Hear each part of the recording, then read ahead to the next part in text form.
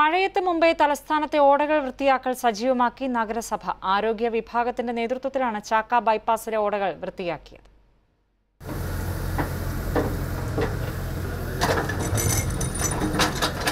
ബൈപ്പാസിലെ മേൽപ്പാലം പണിയുടെ സാധനങ്ങൾ ചാക്കയിൽ ഏറെ നാളായി കെട്ടിക്കിടക്കുന്നു. കൂടാതെ നാട്ടുകാർ പ്ലാസ്റ്റിക് കവറുകളിൽ കൊണ്ടിടുന്ന മാലിന്യവുമുണ്ട്. ഓടകളിലെ ഒഴുക്ക് നിലച്ചു. പ്രദേശത്ത് കൊതുകു ശല്യവും രൂക്ഷം. മഴയത്ത് ഓടകൾ നിറഞ്ഞ് പ്രദേശത്ത് വെള്ളക്കെട്ടുണ്ടാകുന്നതും പതിവ്.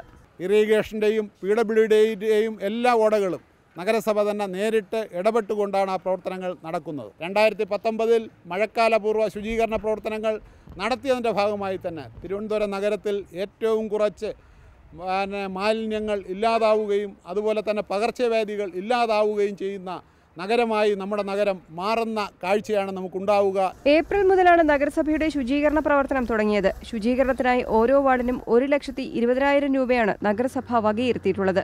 വരും ദിവസങ്ങളിൽ കൂടുതൽ സ്ഥലങ്ങളിൽ സമാന രീതിയിൽ ശുചീകരണം നടക്കും. ഏഷ്യാനെറ്റ് ന്യൂസ് തിരുവനന്തപുരം.